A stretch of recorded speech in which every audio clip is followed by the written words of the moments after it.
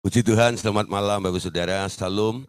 Malam hari ini kita puji Tuhan boleh kembali untuk bersama-sama kita berkumpul untuk mengadakan online discipleship. Tema malam hari ini adalah masih membahas tentang sekitar iman.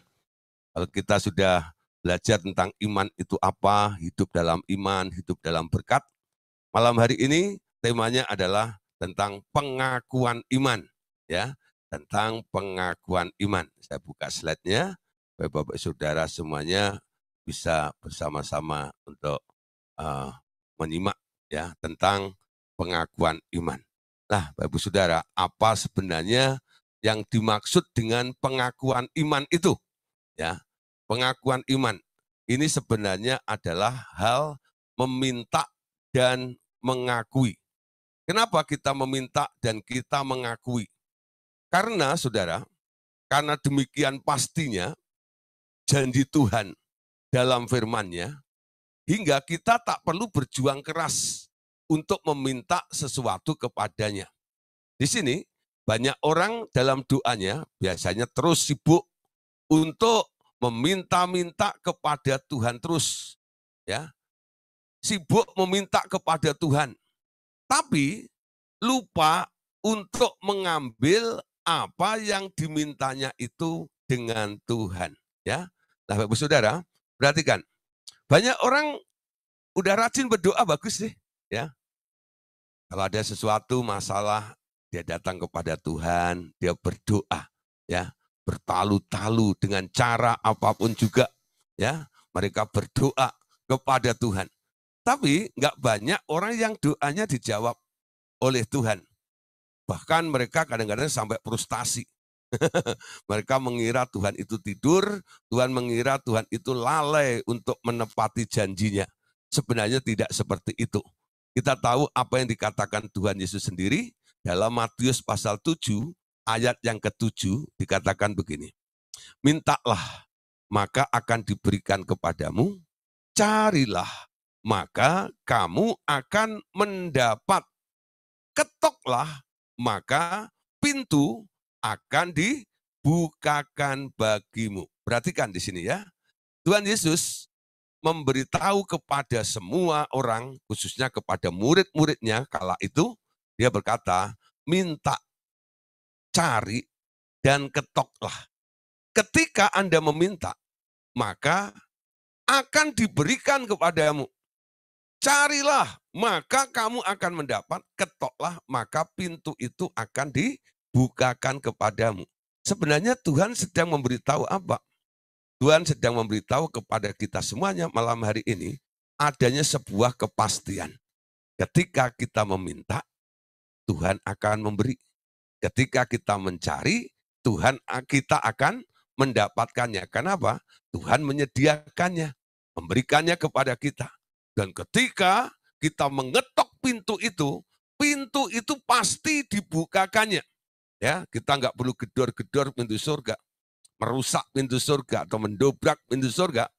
Ketika Anda ketok aja, ya, Tuhan itu sangat memperhatikan kita semuanya. Begitu pastinya Tuhan menjawab di dalam kehidupan kita, lah di sinilah dibutuhkan iman atau keyakinan kita kepada Tuhan. Iman itu melihat siapa yang kita datangin itu loh. Kita sedang menghadap Allah sebagai pribadi yang bagaimana? Allah itu maha kaya, Allah itu maha kuasa, Allah itu sang penyembuh, dan sebagainya. Jadi setiap kebutuhan manusia ini ketika Anda meminta, ketika Anda mencari, ketika Anda mengetoknya, hasilnya pasti mendapatkannya ya pasti mendapatkannya. Nah, Bapak Saudara, kadang-kadang Tuhan ini membenahi apa yang ada di dalam mindset kita, bukan? Hatimu mungkin percaya, mulutmu ngomong benar, tapi kadang-kadang pikiran kita ini tidak bisa kompromi, ya tidak bisa setuju atau selaras dengan omongan dan hati kita. Sehingga ada gendala di daerah pikiran itu.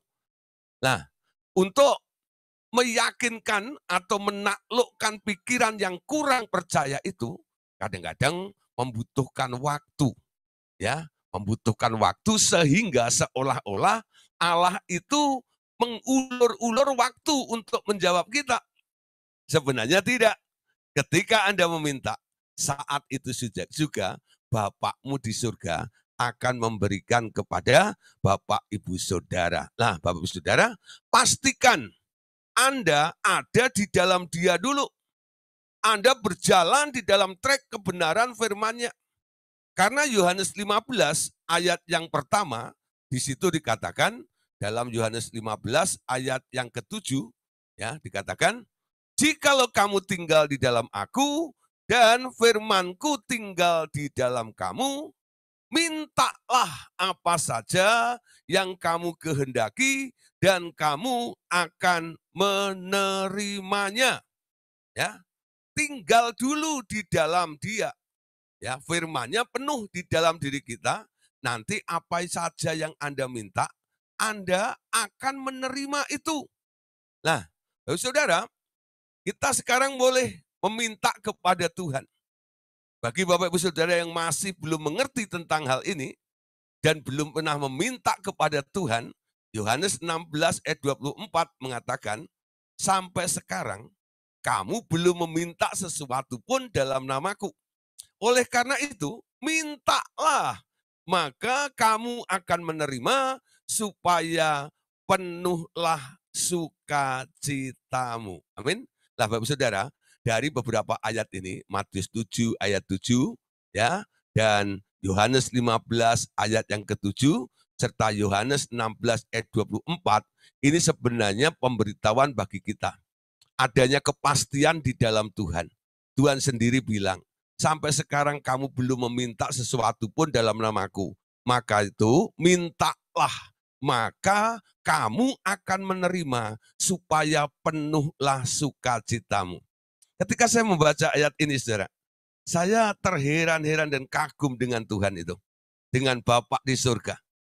Dia mau kita tidak sedih.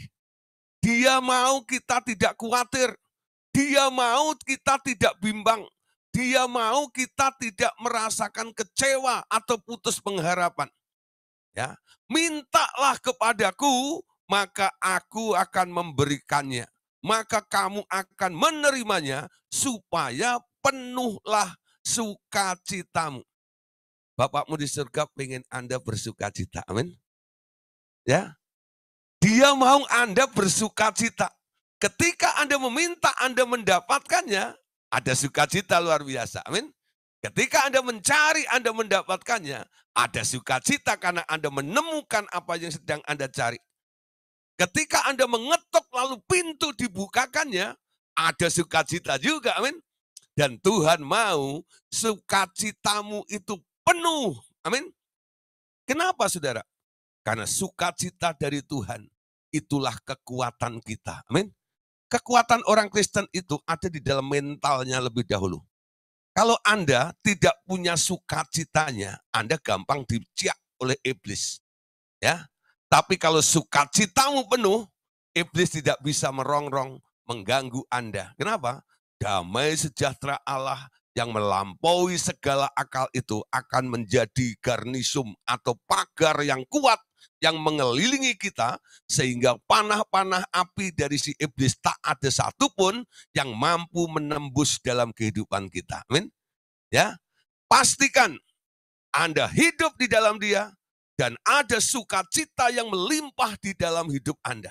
Dan Anda boleh berkata, adalah sukacita di hatiku. Amin. Di hatiku, di hatiku adalah sukacita di hatiku. Amin. Amin. Sukacita itu harus melimpah di dalam hidup Anda. Kenapa Anda bersukacita? Yesus pun juga begitu ya. Ketika di dunia dikatakan, aku bersuka cita. ya, Anda pun juga sama. Setiap hari bangun tidur, ya, sampai tengah malam mau tidur lagi, jaga itu namanya sukacita. Jangan sampai itu hilang. Karena Tuhan mau memberikan segala apa yang Anda cari, apa yang Anda minta, apa yang Anda ketuk, dan Anda mendapatkan menerima semuanya itu, tujuannya adalah supaya sukacitamu penuh. Amin. Nah, Bapak Saudara, kita masuk bagian uh, bab tentang apa yang disebut tentang pengakuan iman itu sendiri apa. Nah, apa itu pengakuan iman? Sesuai dengan tema kita malam hari ini. Pengakuan iman ya, artinya mintalah sesuatu daripadanya sekali saja. Dan selebihnya akui bahwa itu telah Anda peroleh daripadanya. Kita namakan doa semacam ini sebagai doa pengakuan iman. Sekali lagi ya, minta sesuatu daripadanya sekali saja. Ya, garis bawah itu. Minta sekali saja dan selebihnya akui saja bahwa itu telah Anda peroleh daripadanya. Nah, doa semacam inilah yang disebut sebagai doa pengakuan i pengakuan iman. Amin. Nah, mintanya itu cukup sekali. Setelah itu, jangan minta lagi. Nah, kenapa saudara gak boleh melakukan minta berulang-ulang? Pertama, Allahmu itu bukan pelit. Allahmu itu adalah Allah yang murah hati. Amin. Dia mau Anda bersuka cita. Makanya janjinya akan memberikan segala sesuatu yang Anda cari, yang Anda minta, dan yang Anda ketuk itu loh. Dia pasti memberikannya. Jadi ada Anda harus menilai atau melihat Allah itu sebagai Allah yang maha murah. Ketika Anda minta, Anda yakin dulu. Setiap Anda minta sesuatu kepadanya, dia tidak pernah mengulur-ulur waktunya. Dia pasti akan memberikannya kepada Anda. Amin. Jangan berpikir, Tuhan kasih enggak ya, gitu ya. Berarti Anda masih menyangsikan atau meragukan Tuhan datang kepada Tuhan dengan iman. Amin. Iman itu adalah sebuah kepastian. Ya, sebuah kebenaran, sebuah kepastian. Anda pasti mendapatkan apa yang sedang Anda min, minta kepada dia. Karena Anda sudah yakin bahwa dia pasti akan memberikan kepada Anda, di situlah Anda mulai berpikir, kalau begitu, aku nggak perlu mengulang lagi permintaanku kepada dia dong. Kenapa? Kalau aku mengulang lagi permintaanku itu di hadapan Tuhan, itu sama halnya dengan aku tidak percaya bahwa Tuhan sudah menjawab dan memberikannya kepada saya. Ya. Itu maksud saya ya. Kenapa Tuhan mengatakan Mintalah sesuatu daripadanya sekali saja dan selebihnya akui bahwa itu telah Anda peroleh daripadanya. Ketika permintaanmu Anda ulang-ulang, ulang-ulang, ulang-ulang terus, ya permintaan yang pertama itu bagus. Tapi permintaan kedua, ketiga, keempat, dan kelima, dan seterusnya itu, itu menandakan Anda kurang yakin. Anda masih menyangsikan akan jawaban kepastian Tuhan menjawab doa Anda. Amin. Ya, Anda harus kembali kepada ayat sebelumnya tadi. Dia yang berkata, mintalah maka kamu akan diberi, carilah maka kamu akan mendapatkannya, ketoklah maka pintu akan dibukakannya. Itu ada kepastian di situ. Kalau Anda tahu Allah yang ngomong seperti itu, jadi Anda cukup minta satu kali saja, selebihnya Anda tak perlu minta lagi. Amin. Ya. Nah, kalau toh Anda harus datang lagi kepada Tuhan karena berkatnya itu belum nongol juga di dompet Anda atau di tempat Anda, apa yang harus Anda lakukan? Anda nggak usah minta. Anda tinggal melakukan pengakuan dengan iman Nah, makanya disebut doa pengakuan iman. Akui bahwa apa yang Anda minta kemarin itu, Tuhan, engkau sudah menyediakannya, engkau sudah memberikannya, dan sudah engkau berikan kepadaku. Ya, Nah, Anda tinggal mengucap syukur kepada Tuhan. Terima kasih Tuhan, aku mengucap syukur. Engkau telah menjawab doaku. Ya. Engkau telah ya memenuhi kebutuhanku. Engkau telah menyembuhkan aku. Engkau telah membayar hutangku. Nah, Anda mulai ngomong seperti itu. Ya, ketika Anda telah meminta satu kali saja. Tapi ketika Anda minta, pastikan dulu ya, Anda tinggal di dalam dia dan firmannya tinggal di dalam Anda. Artinya apa? Permintaanmu sesuai dengan rencana Tuhan, agenda Tuhan, keinginan Tuhan, yang akan terjadi di dalam hidup Anda. Amin. Ya. Jadi harus diselaraskan dulu. Ketika Anda sudah selaras, Tuhan agree, Tuhan cocok, dia mau kehendaknya terjadi di dalam kehidupan Anda. Lalu Anda tinggal mengucap syukur kepada kepada Tuhan. 1 Yohanes 4 ayat 15.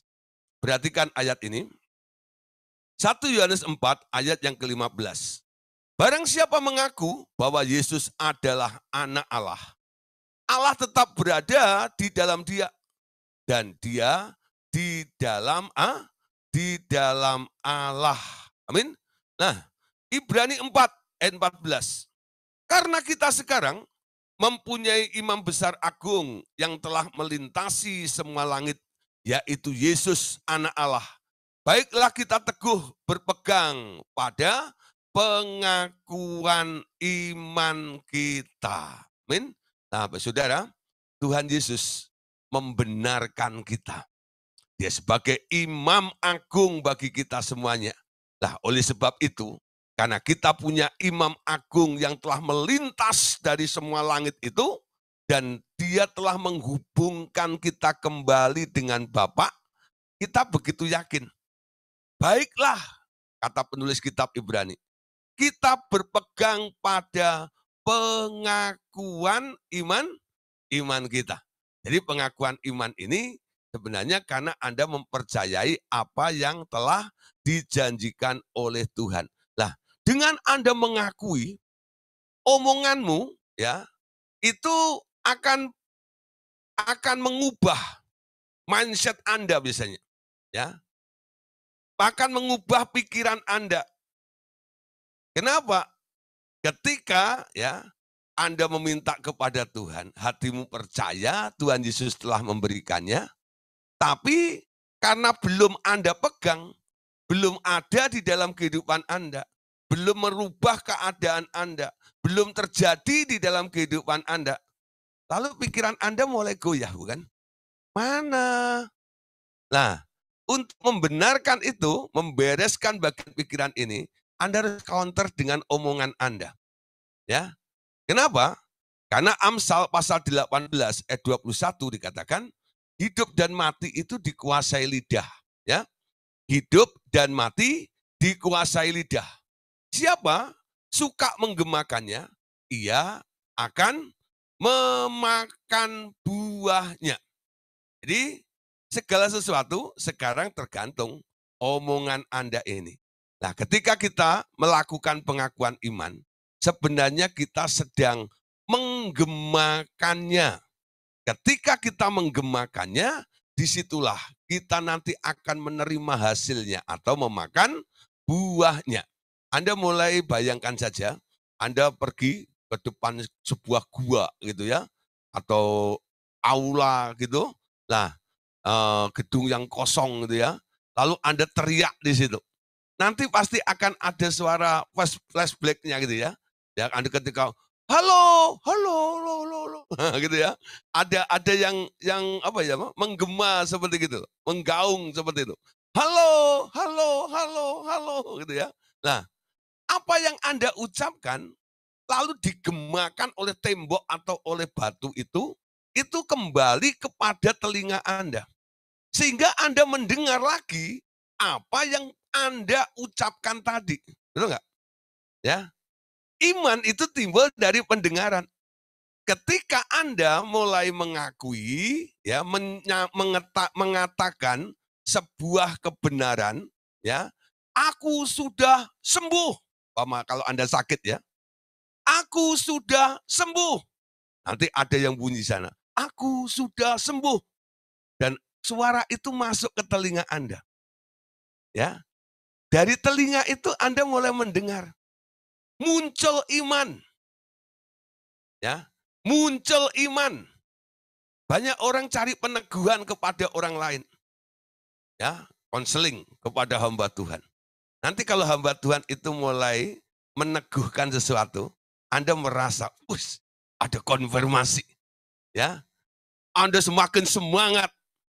Ada yang mendukung. Ada peneguhannya. Imanmu semakin naik. Karena apa? Karena omongan sang, sang konselor tadi itu. Hamba Tuhan yang ngomong kepada Anda, ya, yang mengatakan mengkutip firman Tuhan lalu dibunyikan kepada Anda, Lalu apa yang dikatakan oleh hamba Tuhan itu akan mendengung terus, terngiang-ngiang di telinga Anda. Kata Pak Pendeta tadi. Ya, kata Pak Gideon tadi. Ya. Nah, itu terus Anda ingat. Sepertinya itu terus berbicara di telinga Anda. Ketika Anda ya mendapatkan satu flashback daripada kebenaran firman itu, firman itu mulai masuk lagi ke dalam telinga Anda. Orang-orang yang mengakui iman, ya bisa siapa bilang saya sakit, omong kosong. Aku sudah sembuh oleh bilur Tuhan Yesus. Dan itu mulai masuk juga ke telinga Anda. Amin.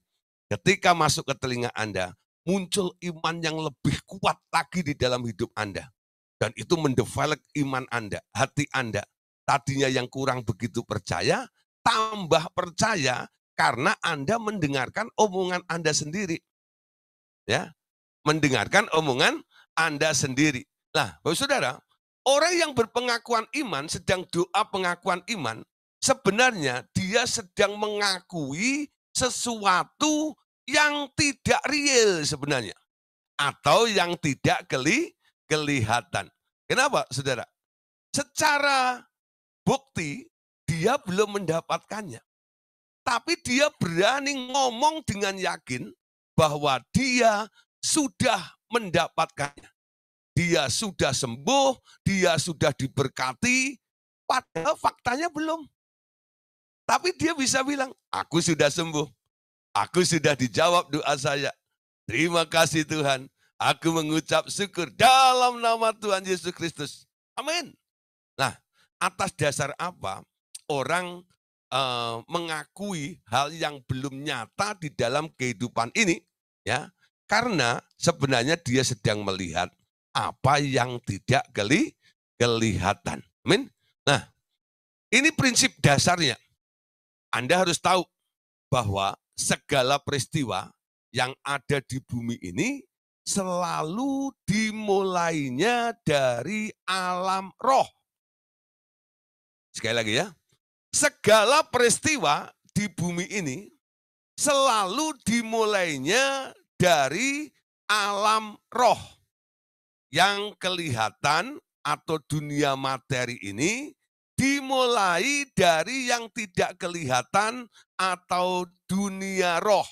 Karena itu, hal-hal duniawi ini harus dimulai dengan iman kepada hal-hal yang sudah ada di alam roh juga dan kita mengetahui hal-hal yang ada di dunia roh dari apa yang dikatakan Allah kepada kita. Amin.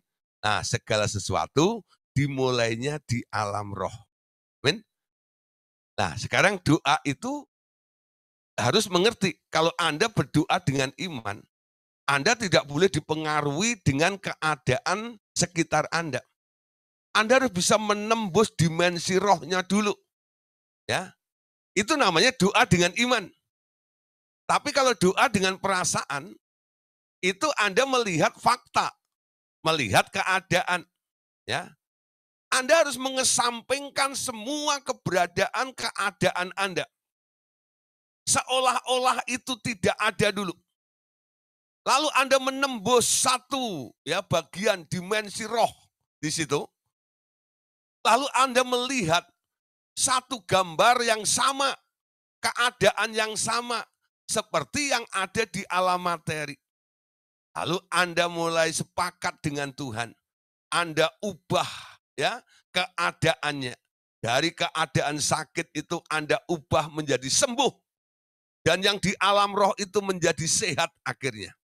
Ketika Anda bisa melihat bahwa di alam roh itu sudah sehat, lalu Anda mulai berkata-kata benar dengan ngomong, mengakui sebuah kebenaran yang ada di alam roh. Jadi orang pengakuan iman itu bukan sedang mengharap-harapkan, tidak. Tapi sebenarnya dia sedang berbicara tentang sebuah fakta kebenaran yang adanya di alam roh. Amin. Jadi kalau Anda belum mendapat konfirmasinya dari Tuhan, atau Anda belum melihat tandanya, belum melihat di alam roh ada pergerakan atau perubahannya, ya Anda nggak bisa ngomong seperti itu. Coba bilang saya sakit, omong kosong, saya sudah sembuh. Ya, faktanya di alam materi dan di alam roh semuanya masih sakit. Ya, nanti kalau terjadi yang di alam roh sudah mulai berubah, walaupun yang di alam materi belum berubah, Anda mulai mengakui apa yang ada di alam roh itu. Anda mulai katakan, aku tahu, aku sudah sembuh, aku sudah sehat. Siapa bilang saya sakit? Omong kosong. Dalam nama Tuhan Yesus, aku sudah sembuh. ya, ini bukan sedang omong kosong, ngomong-omong yang yang apa namanya? Uh, hanya isapan jempol gitu. Enggak, saudara. Jadi orang pengakuan iman itu sebenarnya melihat fakta di alam roh. Bahwa ada sesuatu yang berubah. Nanti kalau ditanya, kamu kok ngomong sudah dapat Dasarnya apa? Kebanyakan orang ngomong gini, ya pokoknya kita harus ngomong positif lah. Kita nggak boleh ngomong ya yang negatif tentang keadaan kita itu. Sekali lagi seperti tadi malam saya katakan, iman itu bukan sekedar berbicara tentang hal yang positif. Ya. Anda tidak diajar untuk berpikir positif, berkata-kata positif, bukan. Anda diajar oleh Tuhan untuk berpikir benar dan berkata-kata benar. Amin. Benar dan positif itu beti. Bedanya tipis. Berpikir positif itu ya sebenarnya dia masih menginginkan adanya sebuah perubahan. Daripada hidup nggak enak ini, saya mau hidup enak. Itu berpikir positif namanya berpikir positif sajalah gitu ya. Kadang-kadang kan anjurannya seperti itu. Nah, sekali lagi jangan pernah berkata seperti itu. Temukan kebenarannya dan berkatalah yang benar. Berpikirlah yang benar. Amin. Ya. Berpikirlah yang benar, berkatalah yang benar. Ya. Karena Anda melihat sebuah fakta di alam roh itu. Karena segala sesuatu, tadi dikatakan, yang ada di bumi di alam materi ini, selalu dimulainya di alam roh. Berkat seperti Efesus 1 ayat 3 kemarin. Terpujilah Allah Bapa Tuhan kita Yesus Kristus yang telah memberikan segala berkat rohani di alam roh, di surga, di heavenly places sana itu loh. Jadi Allah mengerjakannya di alam roh. Yang diubah dulu adalah bentuk rohnya. Nah, untuk menarik ke alam materinya, Anda sekarang harus yakin dan mulai bisa mengakuinya. Walaupun faktanya belum ada. Ini namanya melihat apa yang tidak kelihatan. kelihatan. Amin. 2 Korintus pasal 5 ayat 7. Paulus berkata begini. Sebab hidup kami ini adalah hidup karena percaya, bukan karena melihat. Ya. Sebab hidup kami ini adalah hidup karena percaya, bukan karena me melihat. Nah, percaya itu menggunakan mata roh. Melihat fakta yang ada di alam roh dengan mata hatimu, dengan mata rohmu. Ya, hidup kita ini bukan hidup karena apa ya, yang dipengaruhi oleh kasat mata kita ini loh.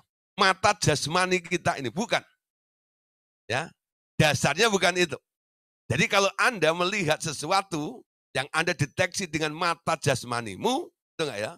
Nah, sekarang Anda pastikan dulu kebenarannya. Apakah yang ada di depan Anda ini sebenarnya sama dengan apa yang ada di alam roh atau tidak? ya, apa yang di alam roh sama enggak? Contoh gitu ya, Anda lagi jalan nih, lalu teman Anda bilang, eh, itu lipstick kamu itu, ya mungkin ibu pakai lipstick buru-buru gitu ya, itu lipstick kamu kepanjangan sampai ke sini, enggak ya? Ya, mungkin ya. Apa yang Anda lakukan? Anda buru-buru ke toilet ya, ke kamar mandi. Ngapain? Ngaca, atau enggak ya? Lalu Anda lihat yang di dalam kaca itu.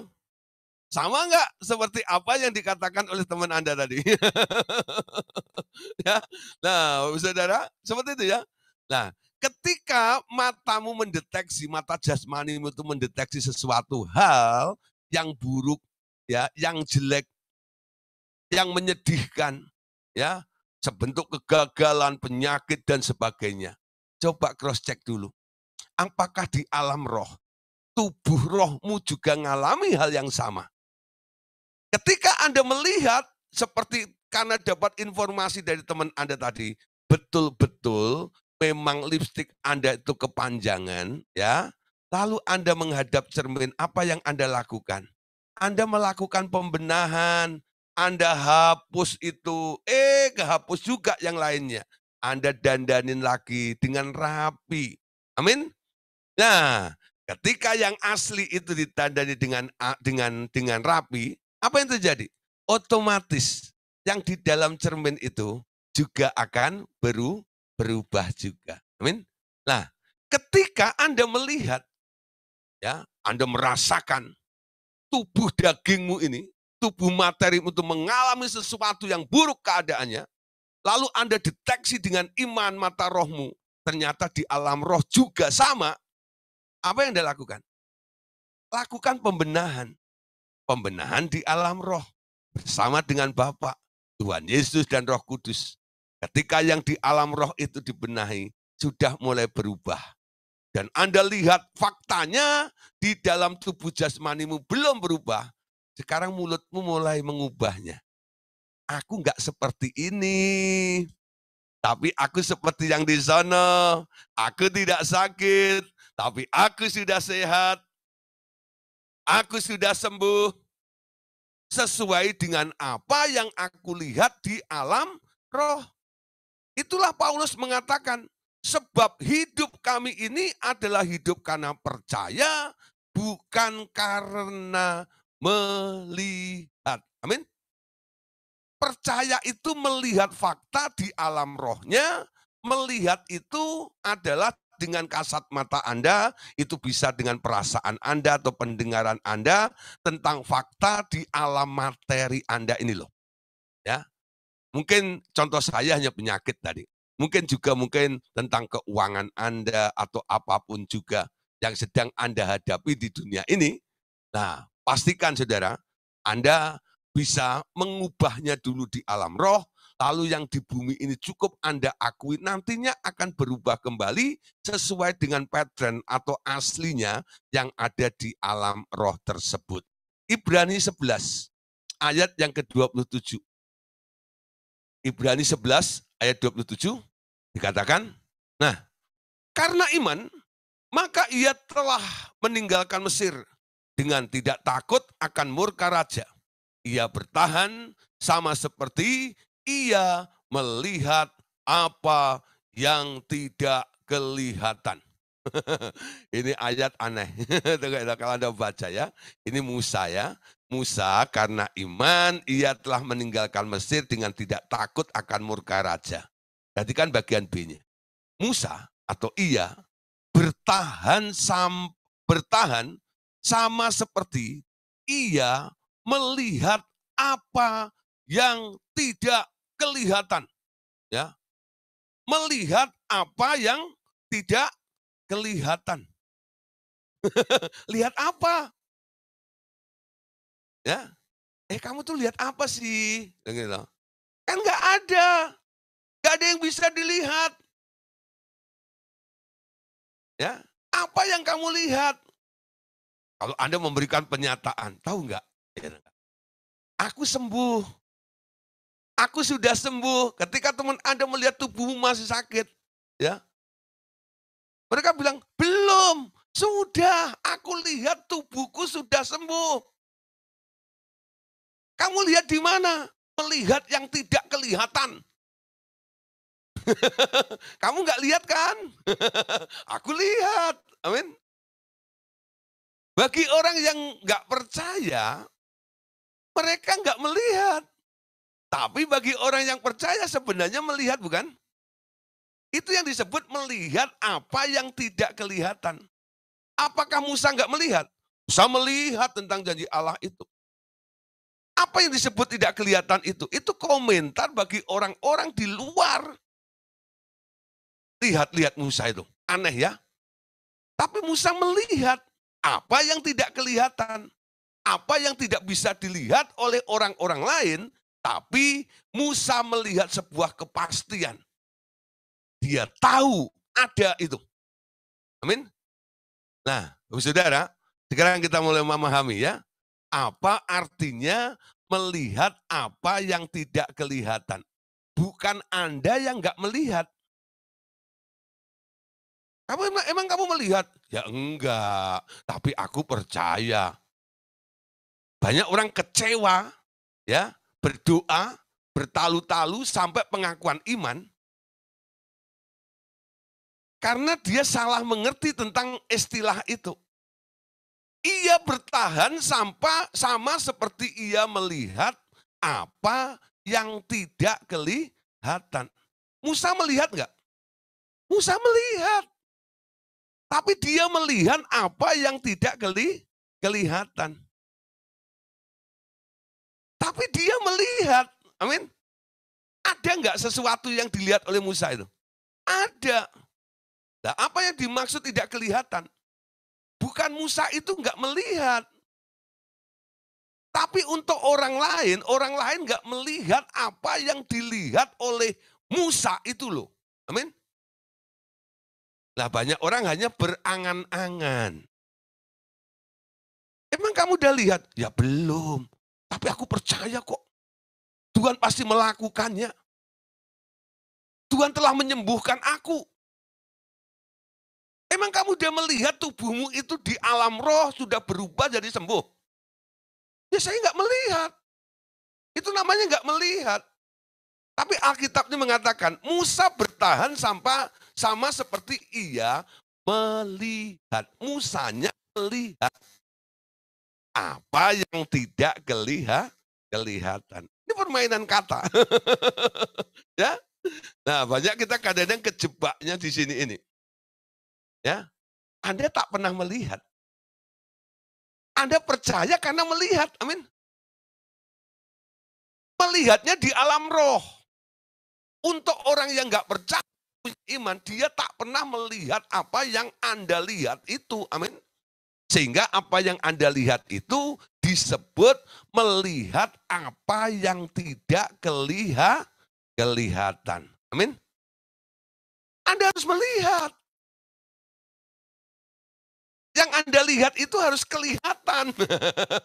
ya, nah, kok bingung ya? Ini gimana sih Pak? Nah coba nih. Supaya Anda tidak kecewa, tidak frustasi dalam doa. Karena Anda tak pernah melihat sesuatu, lalu Anda hanya klaim, klaim, klaim, klaim, klaim, klaim saja.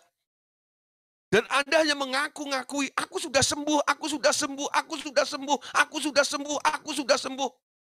Atas dasar apa Anda ngomong sudah sembuh?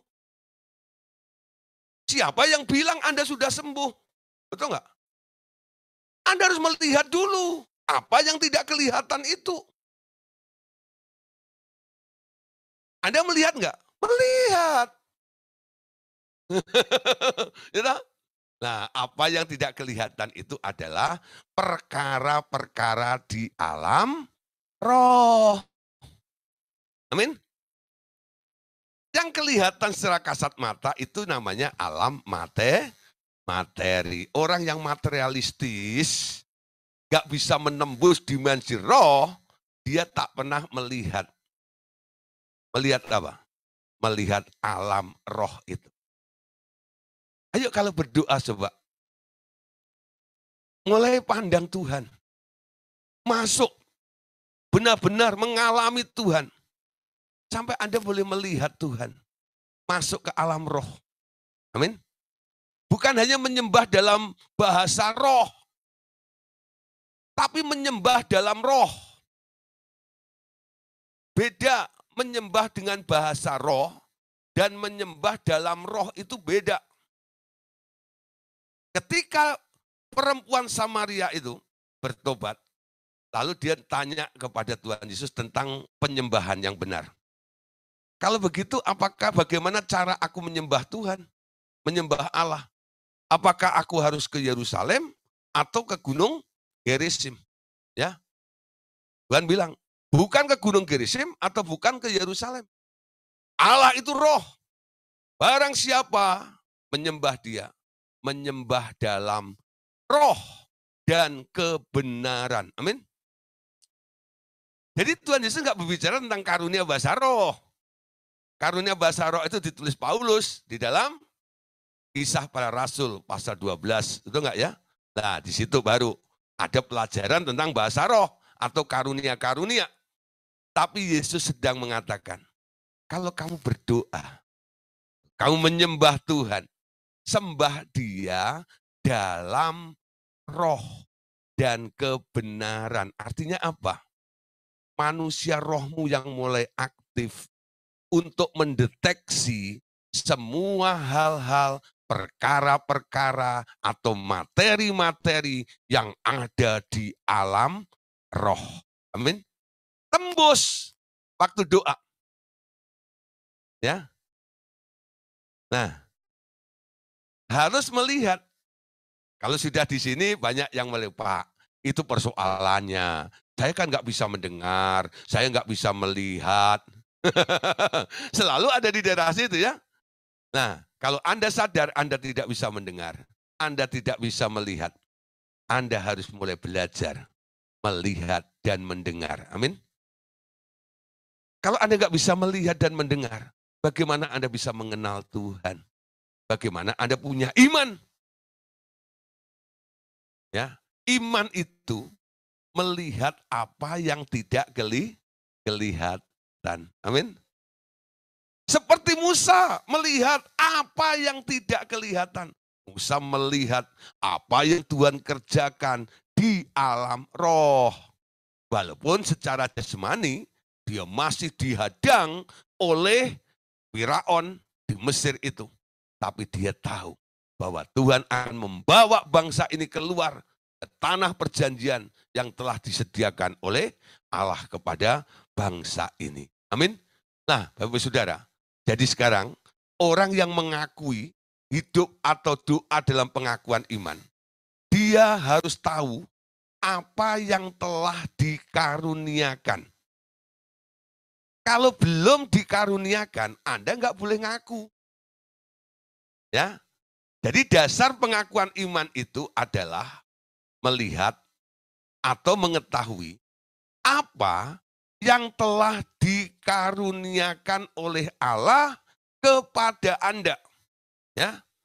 Banyak perkara telah diselesaikan Allah di alam roh. Ketika Tuhan Yesus berteriak, sudah selesai, sudah genap di atas kayu salib. Dalam banyak hal kita tak perlu meminta-minta lagi. Tuhan melakukan sesuatu untuk kita. Tapi kita menerima pemberitahuan Allah akan hal-hal yang telah diselesaikannya dan kita akui itu dengan iman. Maka hal itu akan menjadi milik Anda. Ya, Ketika Tuhan Yesus menyelesaikan penebusan di kayu salib, maka terbukalah jalan kembali kepada Allah Bapa dan dengan iman sekarang kita boleh datang kepadanya dan dipulihkan. Pemulihan ini yang nantinya akan mengembalikan status manusia sebagai anak, sebagai ahli waris, dan sebagai pemegang otoritas Allah atas bumi ini. Ya, tentu harus ada proses di mana kemanusiaan Anda harus ditanggalkan dahulu dan mulai mengenakan manusia baru, yakni benih Yesus yang ditaruh di dalam Anda. Amin. Nah, Bapak Saudara, perhatikan ya, di sini tadi, ketika Tuhan Yesus mati di kayu salib, dia melakukan pemberesan. Dia melakukan penebusan. Ya, dosa membuat manusia terputus dengan Allah. Ya, ketika Yesus disalib, dia menjembatani manusia manusia yang awalnya terputus dengan Allah itu, mengalami disconnection itu, sekarang Anda mulai terhubung atau terkonek kembali dengan Tuhan, dengan Bapak. Ya, Nah, Tuhan Yesuslah yang melakukannya. Lalu, banyak perkara yang Tuhan Yesus juga kerjakan di kayu salib itu. Di atas kayu salib itu dia katakan, sudah selesai. Apa maksudnya sudah selesai? Banyak hal saudara yang secara umum boleh kita akui bersama-sama. Ya, ketika Anda percaya kepada Tuhan Yesus, dosa sudah dibereskan. Amin. Ketika Anda mengundang Tuhan Yesus, percaya kepada Tuhan Yesus, dosamu diampuni. Amin. Anda dijadikan manusia baru, ciptaan baru di dalam Allah, yang lama sudah berlalu, yang baru sudah hadir, sudah datang. Anda bukan mantan orang berdosa. Tapi Anda lahir di dalam kerajaan Allah, menjadi manusia baru, ciptaan baru di dalam Allah. Hidupmu sekarang dihitung oleh Allah, dimulai dari ketika Anda mulai percaya kepada Tuhan Yesus ke depannya. Yang lama itu sudah tidak diakui lagi oleh Allah. Amin. Ya. Dan itulah nilaimu di situ. Tuhan menebus Anda, membuang masa lampau Anda Lalu Anda boleh hidup bersama dengan dia dalam hidup anugerah bersama dengan Tuhan Yesus di situ. Amin. Nah, dosa sudah diampuni. Amin. Nah, Yesus mati di atas salib sebagai orang terkutuk. Kenapa dia ambil mati dengan cara terkutuk seperti itu? Ya. Nah, Saudara, zaman dulu ya, mati paling eh, apa namanya? uh, mati paling hina itu adalah mati di atas kayu salib. Gak heran ketika Tuhan Yesus mati di kayu salib, dia disejajarkan dengan dua penjahat. Betul nggak? Jadi salib itu hukuman untuk orang-orang yang dosanya udah kelewatan.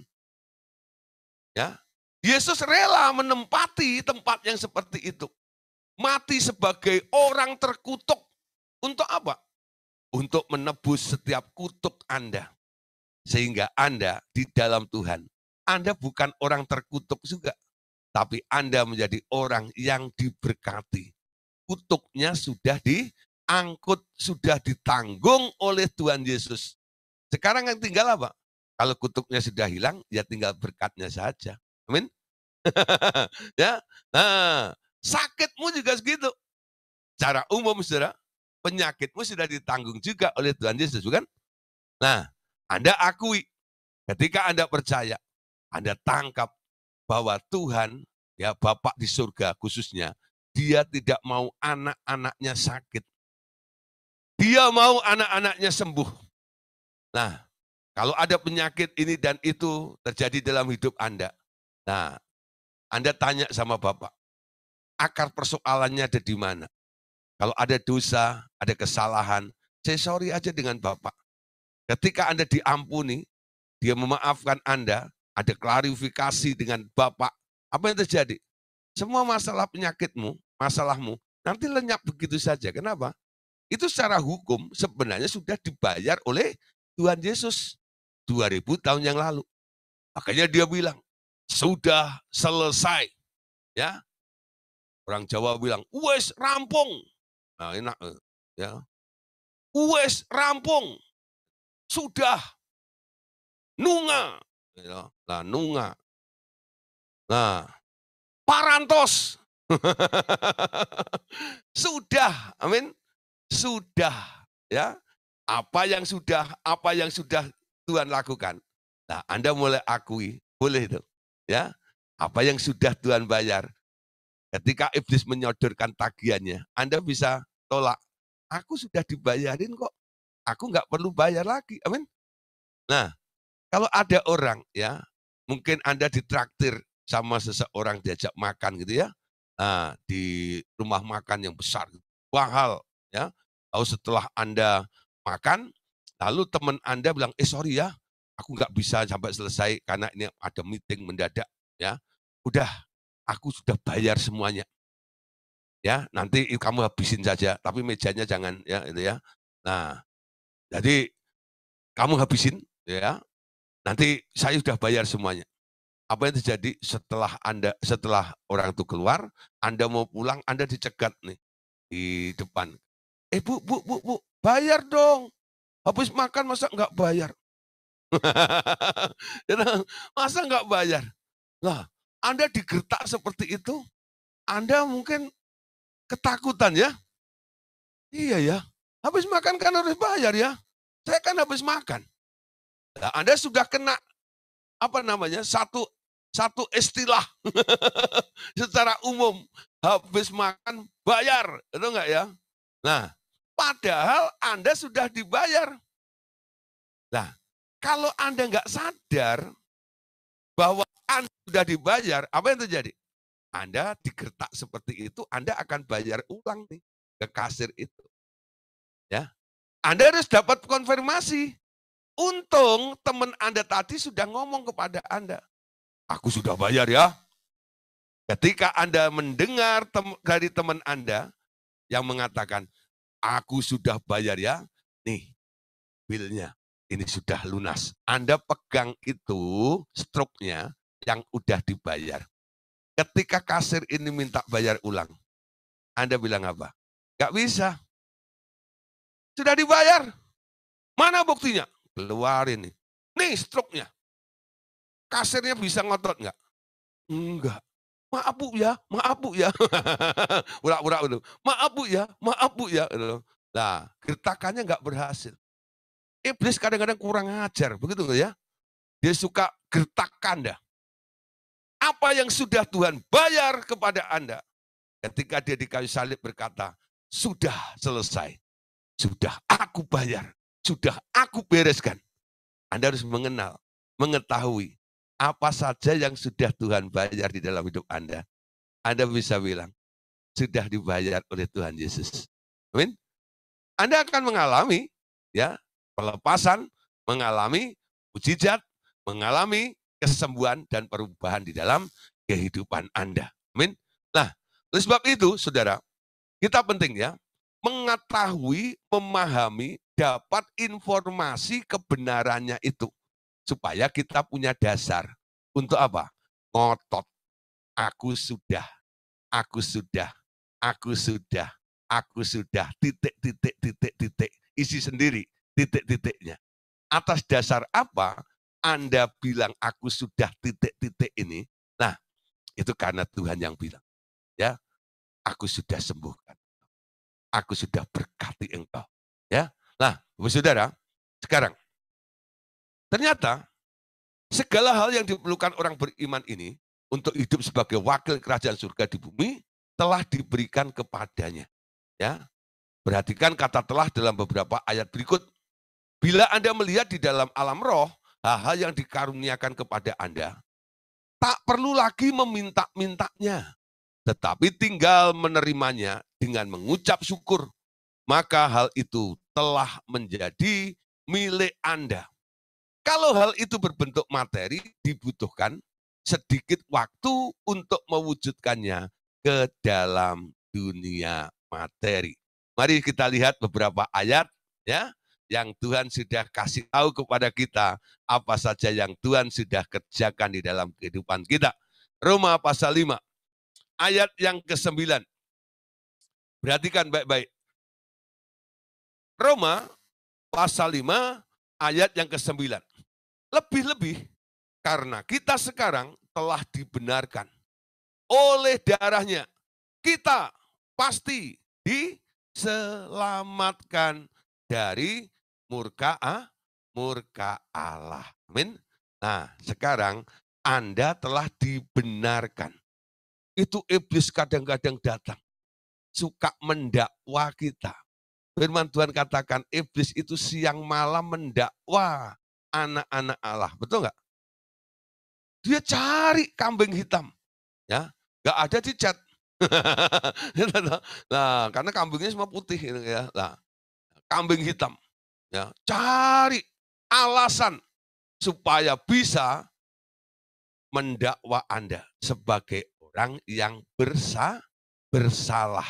Nah, Bapak Saudara, kalau hari ini mungkin saya tanya kepada Bapak Saudara, tapi jawab aja di dalam hati, ya. Karena kita tidak ada di tempat yang sama. ya, Anda ada di tempat yang lain, paling enggak pertanyaan saya ini Anda bisa mengerti dan mulai menjawab secara pribadi ya.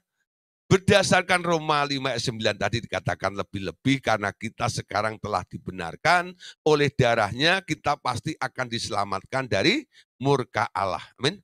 Nah, siapa di sini orang benar? Ya. Kalau Anda orang benar, Anda boleh angkat tangan Anda aja. Ya. Anda orang benar. Betul?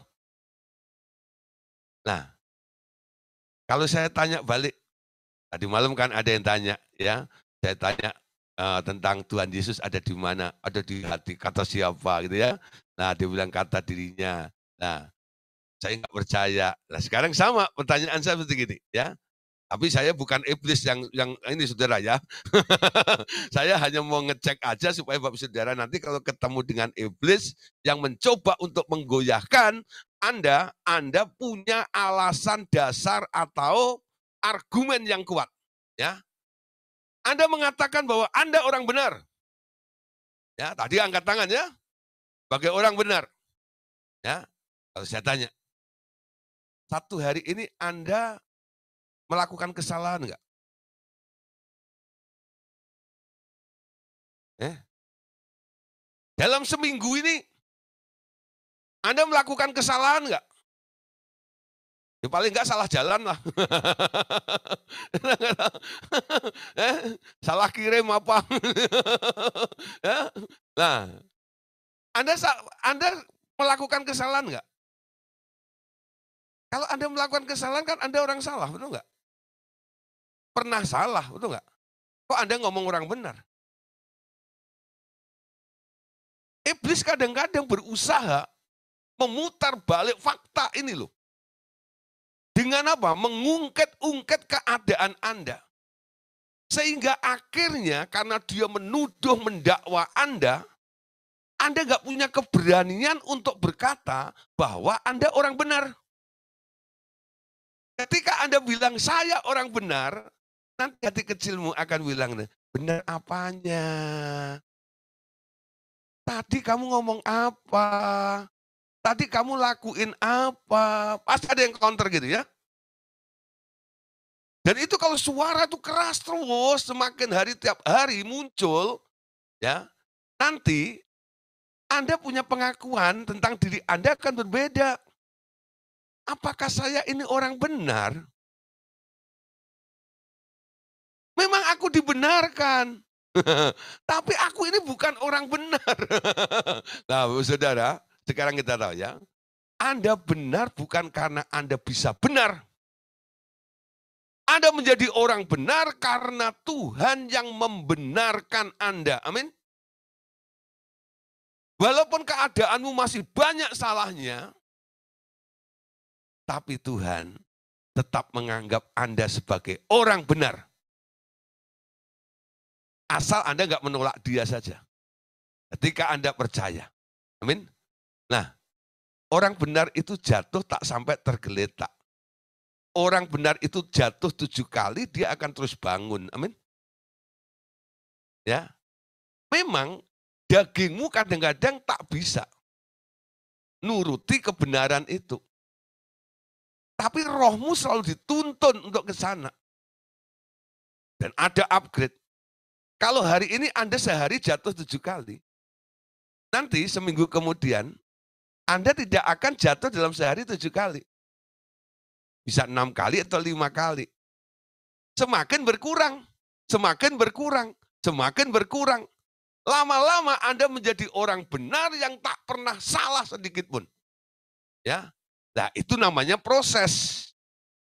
Tapi ketika Anda punya status sebagai orang benar, walaupun Anda masih sering salah, Anda harus tetap konsisten. Akui saja apa yang Tuhan telah lakukan. Terima kasih Tuhan. Karena engkau telah membenarkan aku, maka aku bisa berdiri di hadapanmu sebagai orang benar.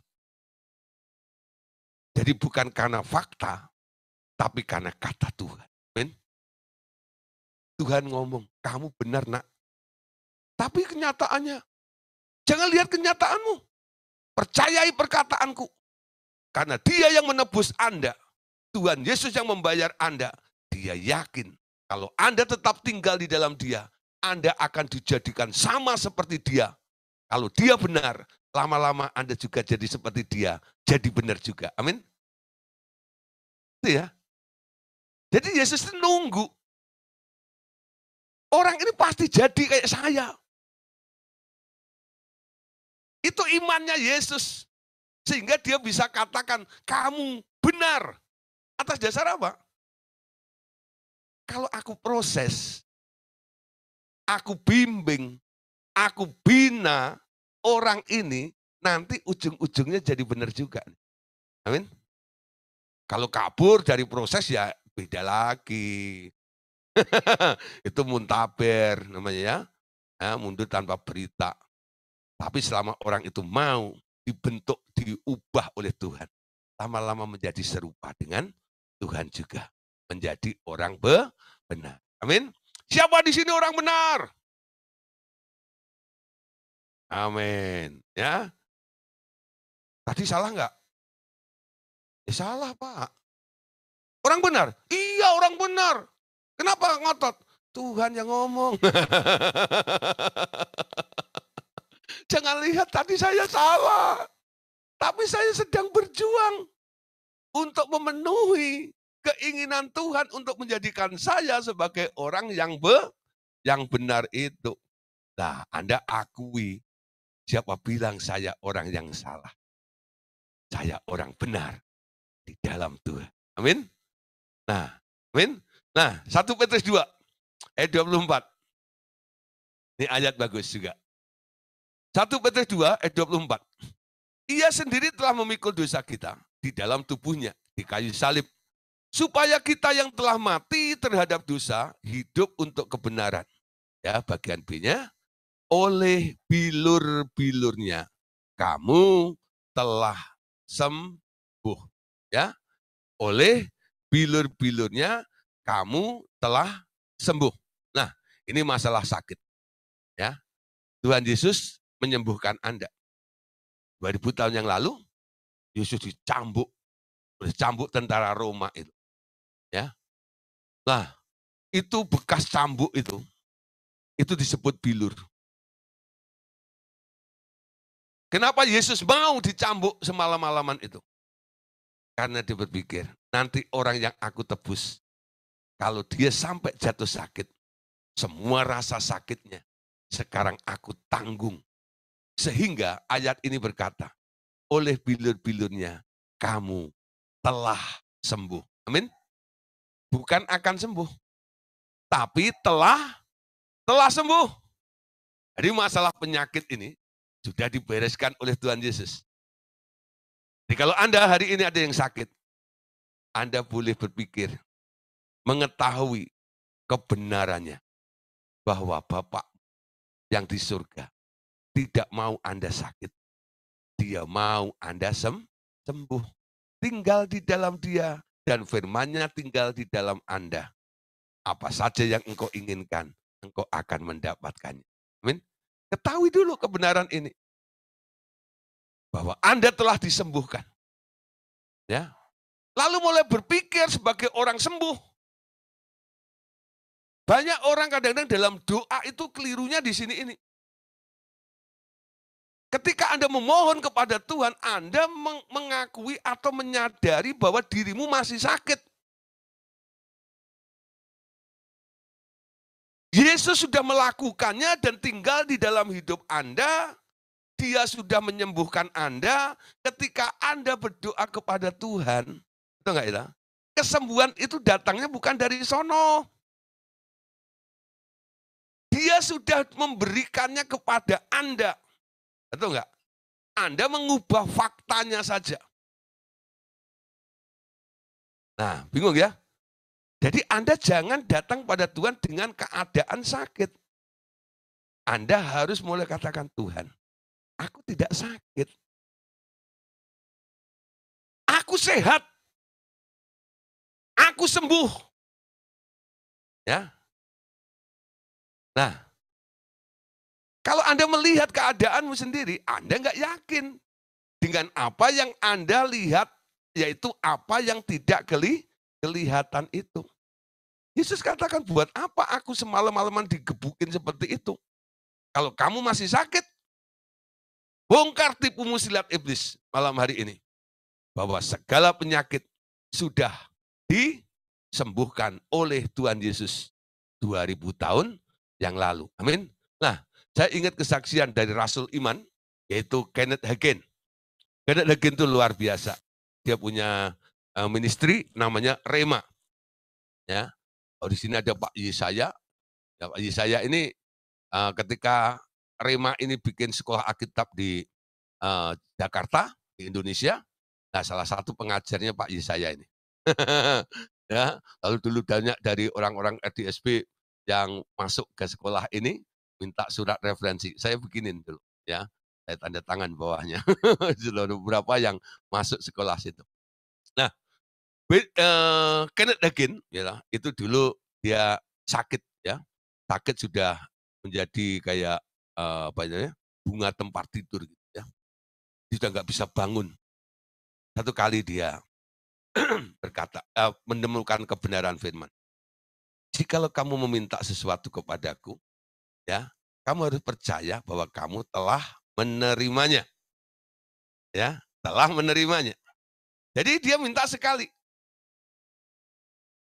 Tuhan sembuhkan saya atau awalnya. Karena dia merasa sakit. Muncul kesadaran ketika firman itu mulai beroperasi, merema di dalam dirinya.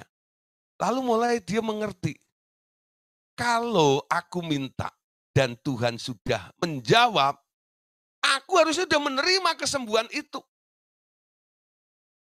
Lalu dia berpikir, beliau ini berpikir, aku tidak sakit.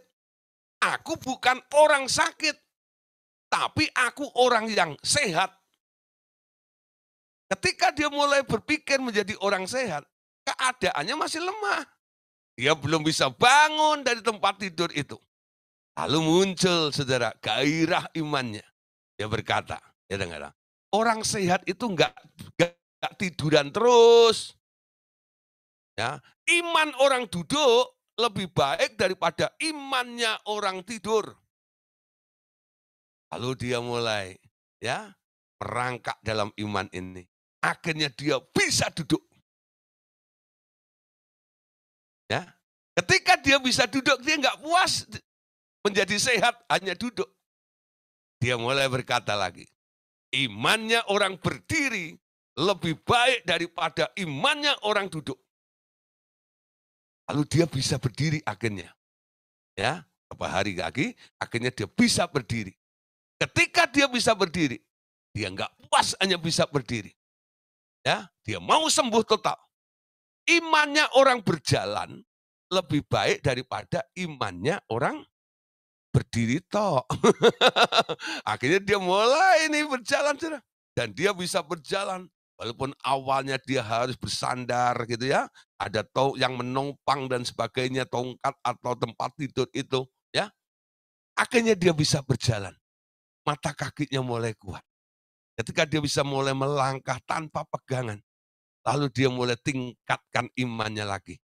Imannya orang berlari lebih baik daripada orang berja, berjalan. Kalau orang berjalan dia masih bisa kontrol keseimbangannya, bukan? Tapi kalau orang berlari, saudara, itu beda lagi. Kadang-kadang dua kaki bisa di atas semua. Ya, tapi kalau orang berjalan itu kan kakinya satu-satu, betul nggak ya? Nah, ketika dia mulai berlari dan dia masih bisa, ya, melakukannya itu nggak jatuh. Lalu dia mulai lakukan tindakan, dia turun tangga dari apartemennya itu, dari flatnya itu, ya, sampai di bawah ada orang tanya, eh, katanya sakit, Kok bisa ada di sini gimana? Siapa yang gotong ke sini? Kok sampai di sini? Dia bilang, saya turun sendiri. Kalau kamu nggak percaya, sekarang ayo aku ajak naik. Tadi dia turun, sekarang orang yang nggak percaya itu dia ngikutin di belakangnya si Kenneth Hagin itu naik sampai di kamar. Semua terbungong-bungong. Kok bisa seperti itu? Dia punya iman yang luar biasa. Ya, ketika dia percaya, dia mulai ya bahwa aku orang sehat. Aku sudah sem sudah sembuh. Nah, Bapak Saudara, coba Anda bisa nggak melakukan seperti ini? Secara teori memang mudah seperti ini ya. Itu nggak terjadi dalam beberapa hari gitu tidak, Saudara. Ada prosesnya, betul nggak? Untuk dari bangun, dari tidur, duduk, dari duduk berdiri, dari berdiri berjalan, dari berjalan berlari dan sebagainya ini, pasti ada godaannya juga. Ya, tapi dia bisa menang. Ya, karena dia konsisten mengakui kebenarannya itu bahwa Tuhan telah menyembuhkannya. Oleh bilur-bilurnya kamu telah sem telah sembuh. Amin. Nah, sekarang tentang masalah keuangan. Bagaimana? Ya, Efesus 1 ayat 3. Ini ada kata telah juga di sini.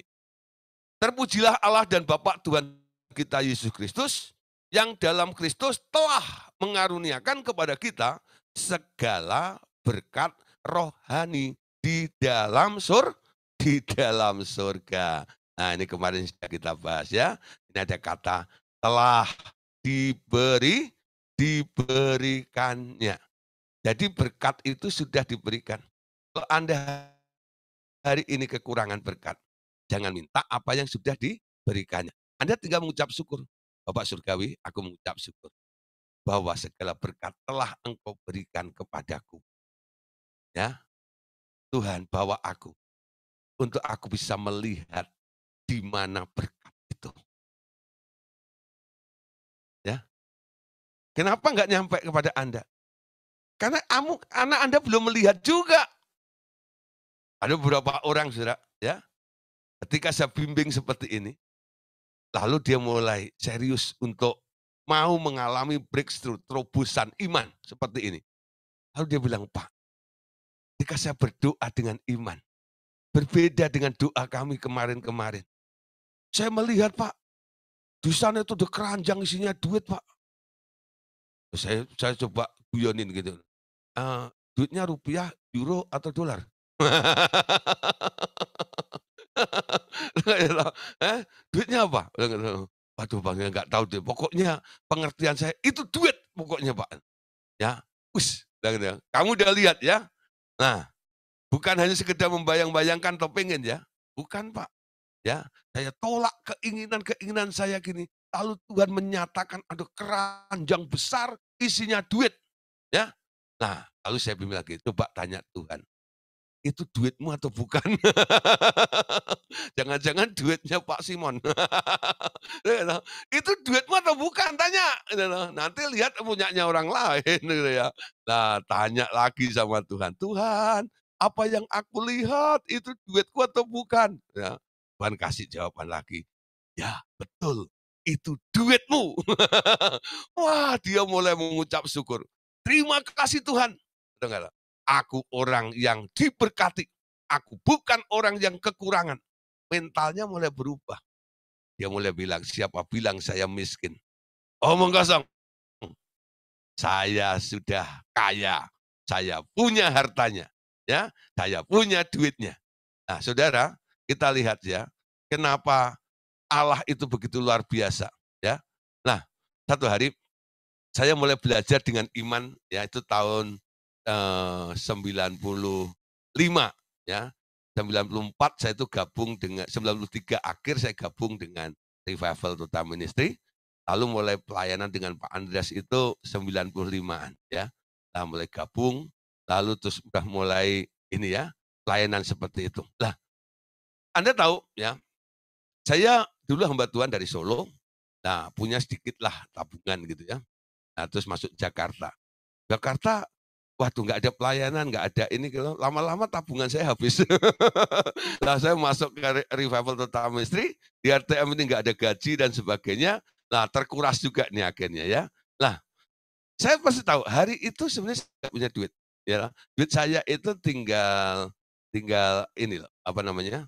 Tinggal eh, waktu itu kalau salah tinggal 2000 5000 lupa ya tinggal tinggal sekitar 3000 tuh. Itu naik bis itu cuman cuman 250 ya. Oh tinggal 5000 lah, tinggal 5000 ya, ingat saya tinggal 5000.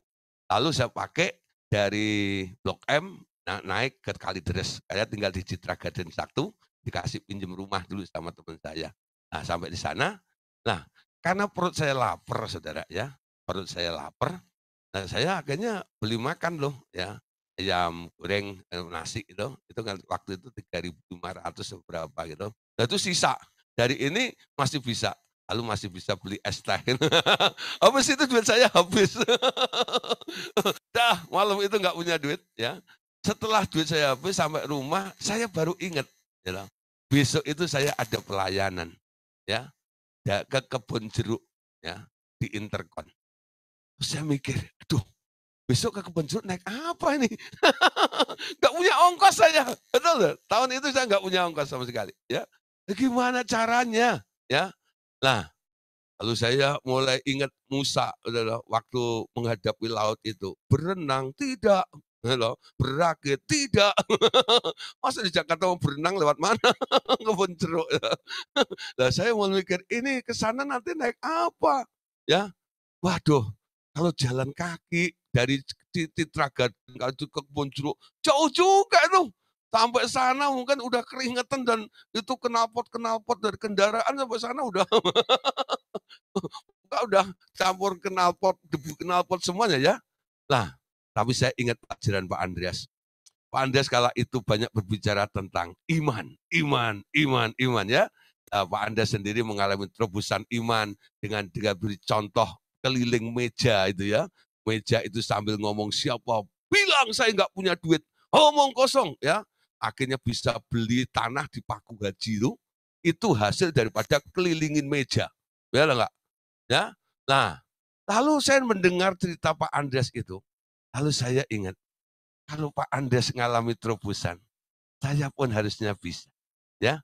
Lalu saya mulai praktekin juga, saudara. Ya. Nah, karena rumah yang saya pakai itu kosong.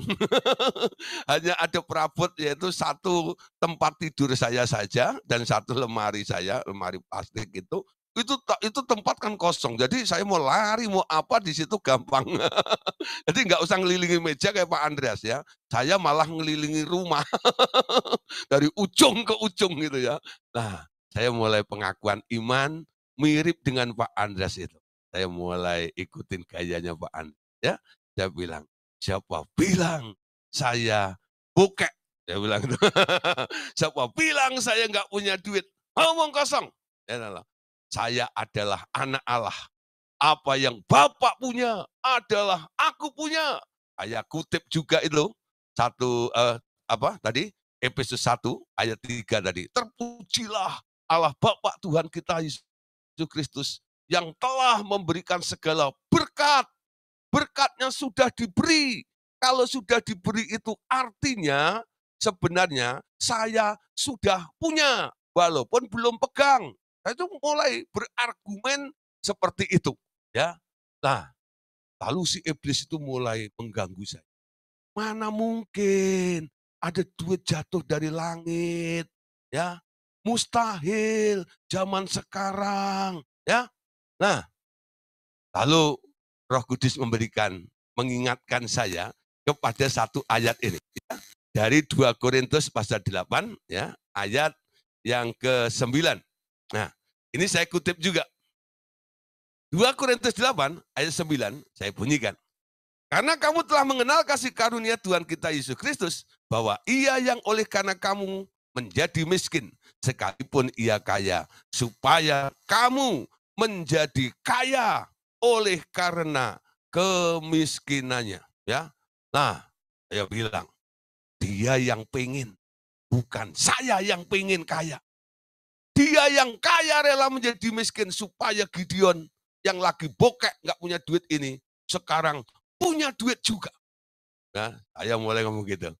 Siapa bilang itu? Ya, omong kosong. Ya, Nah, ketika saya mulai ngomong gitu, ngomong gitu sudah satu jam, saudara. Ya, apa yang terjadi? Ya, muncul pikiran gini. Ngapain capek-capek begitu? Kamu itu kan banyak temen, ya ada teman full gospel, ya ada teman dari pelayanan ini, pelayanan itu, kamu kan pernah doain juga, ada juga yang cukong itu bos abri apa itu. Nah, teleponlah salah satu dari mereka. Ya.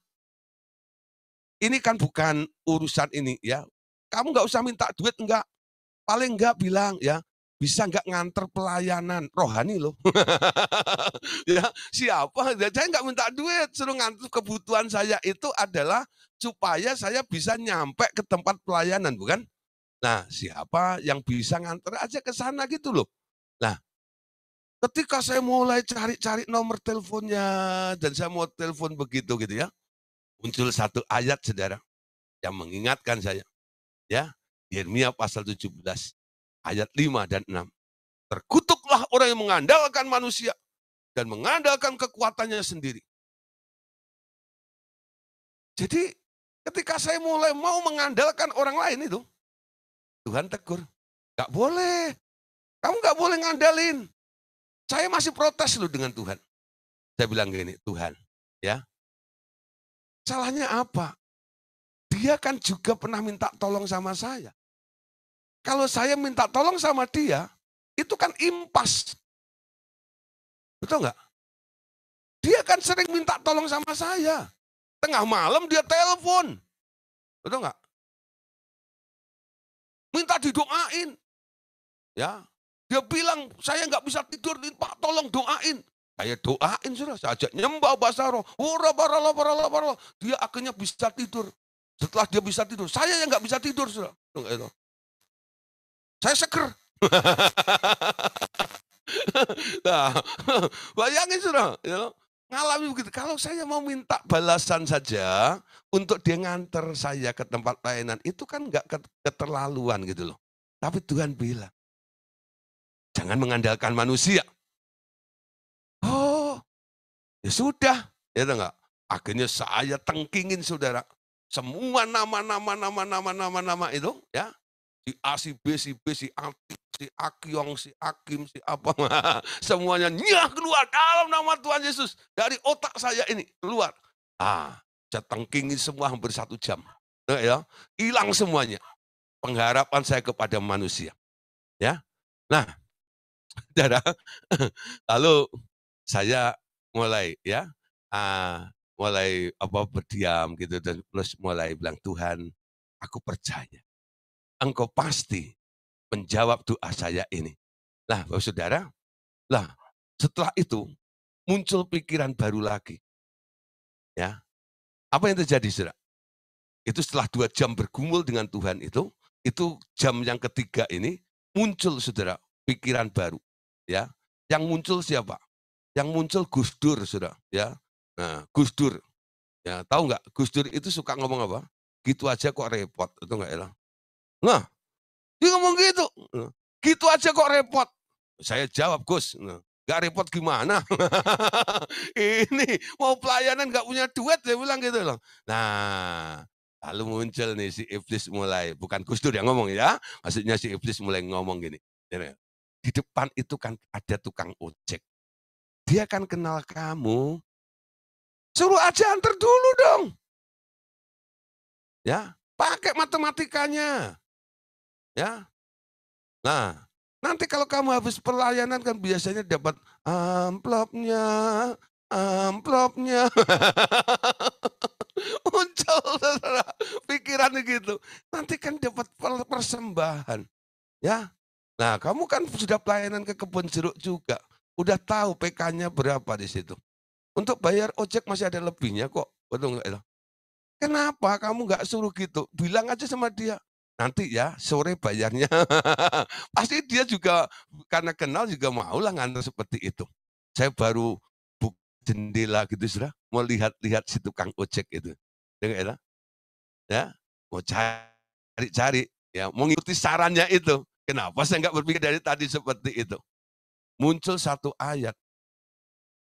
Jangan berhutang apa pun juga kepada siapa pun juga. Saya menjerit Tuhan. Betul nggak? Saya hutang ada hitungannya. Saya hutang ada hitungannya Tuhan. Betul nggak itu? Saya mau pelayanan. Dan biasanya di tempat itu saya dapat sekian.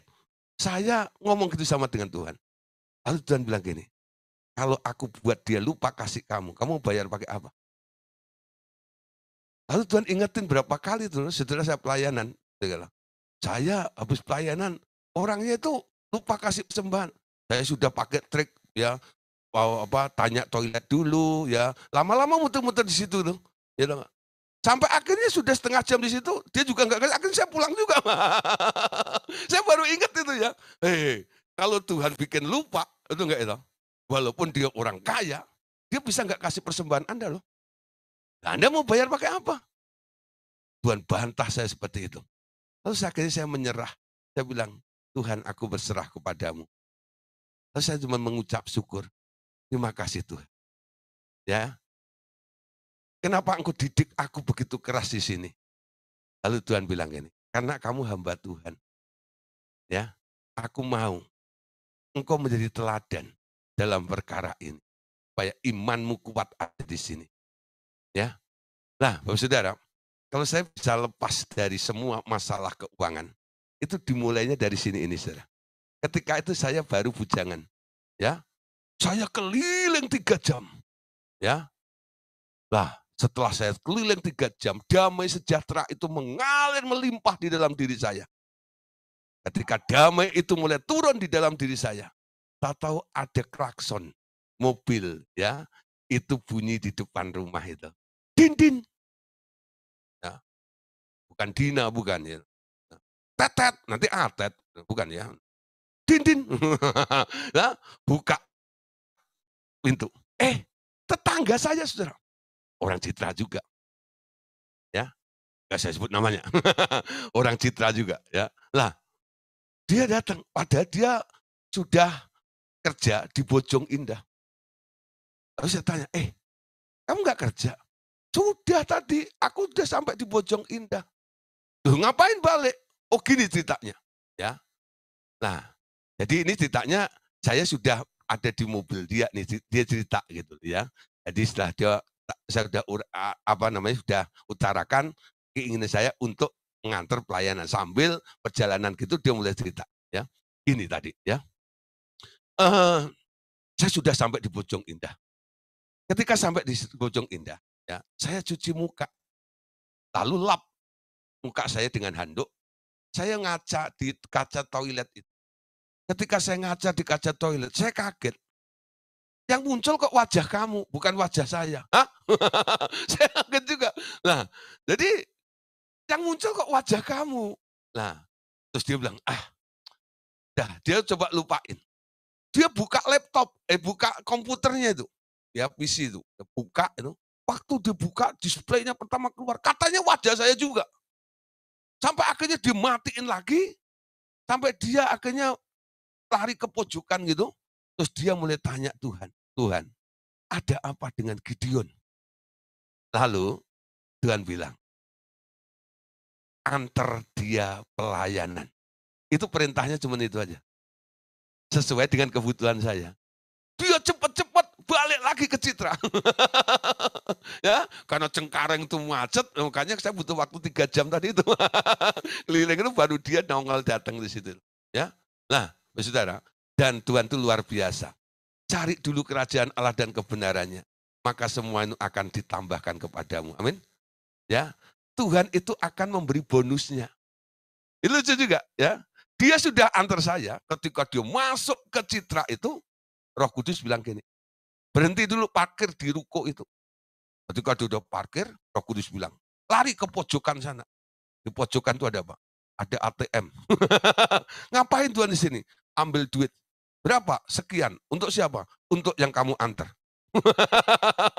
Jadi ya, saudara, akhirnya dia ambil duit itu ya. Nah, terus dia amplopin, nah terus dia, dia antar saya, akhirnya sampailah di kebun jeruk. Ya, sampai di kebun jeruk, dia sebelum turun dia bilang, nih, roh kudus suruh berkati. ya. Lalu itulah pertama kali saya dapat berkat ya dari orang yang di luar pelayanan gitu loh. Nah, terus masuk masuk di persekutuan itu sudah ditunggu saudara. Karena apa? Saya hampir terlambat, bukan hampir terlambat, sudah terlambat. Ya, mereka sudah puji-pujian, WL-nya sudah pucet, saudara. Ya, kenapa? Lagu stoknya sudah habis. Sampai lagu sekolah minggu King Kong badannya besar aja dinyanyiin. Ya, King Kong badannya besar gitu ya. Nah, kenapa? Ini pengkhotbahnya belum datang. Ke mana sahabat singa itu gitu. Waktu dia lihat saya masuk ke rumah itu, ya dia mulai, waduh. Dan lalu dia mulai kedipin mata saya, saya bilang, bentar, saya ke toilet dulu. ya. Nah, dia pikir saya mau kencing di toilet, sudah. Ya, sebenarnya saya bukan mau buang air kecil, sudah. Saya mau ngitung amplop tadi. Karena saya penasaran ya. Tapi saya punya alasan rohani saudara ya.